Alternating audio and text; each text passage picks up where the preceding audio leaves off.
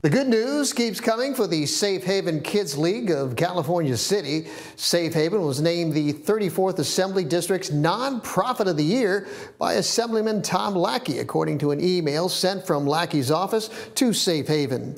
Founder Linda Myers and co-founder Anthony Myers, husband and wife, will be honored during a luncheon at the Capitol in Sacramento on June 5th. Safe Haven, which was established in 2021, opened a new resource building in January. They feed the community with weekly food giveaways and also have special charity events at parks in Eastern Kern.